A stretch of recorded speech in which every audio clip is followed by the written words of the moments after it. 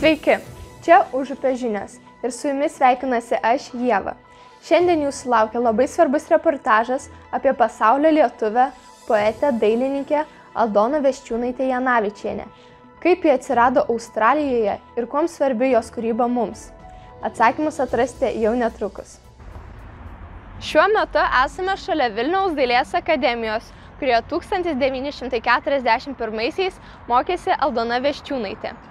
Aldona, gimusi 1923 metais Alituje, menininkų šeimoje, nuo pat mažumos mėgo menus. O atsižvelgiant į tai, kad jos tėtis buvo menininkas, galime galvoti, kad ji paveldėjo tėvo genus. Baigusi Alitaus gimnaziją, Aldona nusprendė pasiekti brolio pėdomis ir pasirinko studijuoti Vilniuje. Vilniuje Aldona pasinėrė į muzikos pasaulį, lankė filharmonijoje vykstančius koncertus, domėjosi Kipro Petrausko kūryba. 1944 metais įvykusi antroji sovietų okupacija iš Lietuvos išstumė daugelį kuriejų, taip pat ir Aldoną su jos broliu. Jie patraukė į vakarus, Vokietijos link. Ji tapo aktyvia Mikalaus Konstantino Čirlionio šokių ir muzikos ansamblio nare. Gastroliuodama su ansambliu, po keliarių metų nusprendė jį palikti ir išvykti į Prancūziją studijuoti tapybos.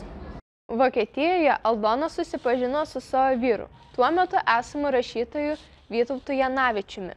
Kartu jie susilaukė dukros ir iškeliavo į tolimąjį žemyną Australiją.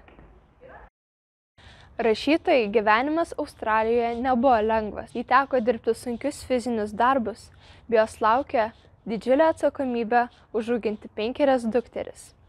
Kad nepasiklystų pilkoje kasdienybėje, rašytoja kuria eilėraščius bei tapė.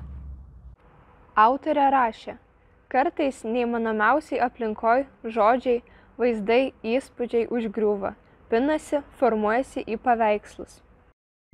Už visus savo nuopelnus kultūros srityje Australijos tarptautinis biografijų centras išrinko ją 1991-92 metų moterimi. Netrukus Lietuvai atgavus nepriklausomybę, rašytoja pradėjo lankytis Lietuvoje ir beveik kasmet sugrįždavo į Vilnių. 2017 metais Liepos 9 dieną Aldona Veščiūnaitė atgulė amžino polisio greta savo tėvų Onos ir Ano pro Saulės kapinėse. Aldonos ir jos vyro Vytauto Janavičiaus archyvai yra saugomi Maironio Lietuvių muziejuje Kaune. Aldonos Veščiūnaitės poezija žavi ir keri savo spalvingumu, muzikalumu ir paprastumu. Jos unikalus ir savitas stilius susivienė su muzika ir daile. Kitaip sakant, autorė teikia meninę sintezę. Jos eilėraščiai neslėpia jos išsilavinimo ir skatina atrasti grožį kasdienybėje. O rimtai svarbi Veščiūnaitės kūrybinio pasiekimo pusė, kad jinai mus apdovanoja naujomis lietuviško žodžio galimybėmis. Rimvidas Šilbajoris, kalbėdamas apie Aldonos kūrybą. Ačiū, kad šiandieną buvote su mumis.